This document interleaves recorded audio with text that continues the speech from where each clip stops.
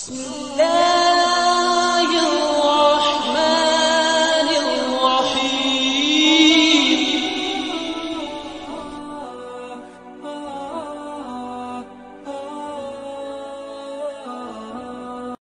شروع اللہ کا نام لے کر جو بڑا مہربان، نہایت رحم والا ہے۔ ایک طلب کرنے والے نے عذاب طلب کیا جو نازل ہو کر رہے گا یعنی کافروں پر۔ اور کوئی اس کو ٹال نہ سکے گا۔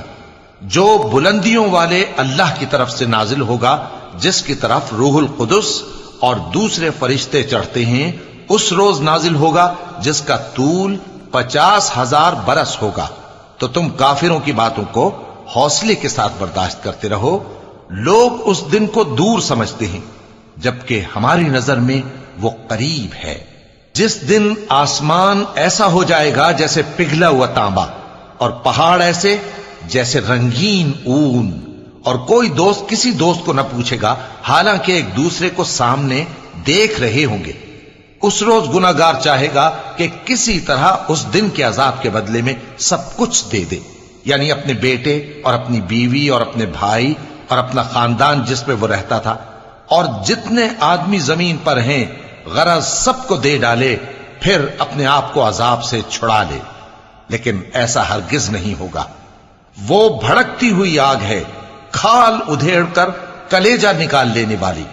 وہ ان لوگوں کو اپنی طرف بلائے گی جنہوں نے دین حق سے اعراض کیا اور منہ پھیر لیا اور مال جمع کیا، پھر سینت سینت کر رکھا۔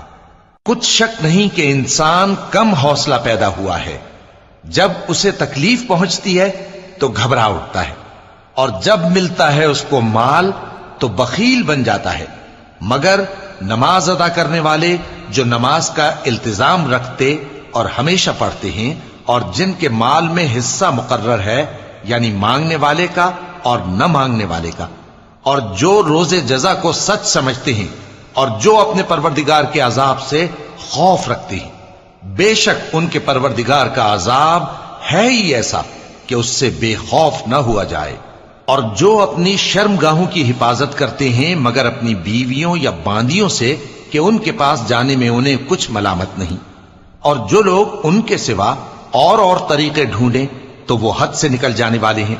اور جو اپنی امانتوں اور اپنے عہد و پیمان کا پاس کرتے ہیں، اور جو اپنی گواہیوں پر قائم رہتے ہیں، اور جو اپنی نماز کی پابندی کرتے ہیں، یہی لوگ جنتوں میں عزت و اکرام سے ہوں گے۔ تو اے نبی ان کافروں کو کیا ہوا ہے کہ تمہاری طرف دوڑے چلے آتے ہیں، دائیں اور بائیں سے گروہ گروہ ہو کر جمع ہوتے جاتے ہیں؟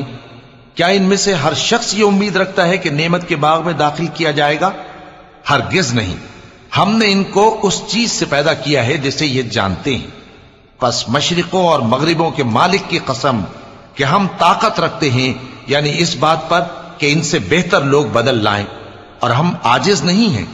تو اے پیغمبر ان کو باطل میں پڑے رہنے اور کھیل لینے دو۔ یہاں تک کہ جس دن کا ان سے وعدہ کیا جاتا ہے، وہ ان کے سامنے آ موجود ہو۔ اس دن یہ قبروں سے نکل کر اس طرح دوڑیں گے جیسے کسی مقابلے کے نشان کی طرف دوڑے جا رہی ہوں۔ ان کی آنکھیں جھک رہی ہوں گی اور ذلت ان پر چھا رہی ہوگی۔ یہی وہ دن ہے جس کا ان سے وعدہ کیا جاتا تھا۔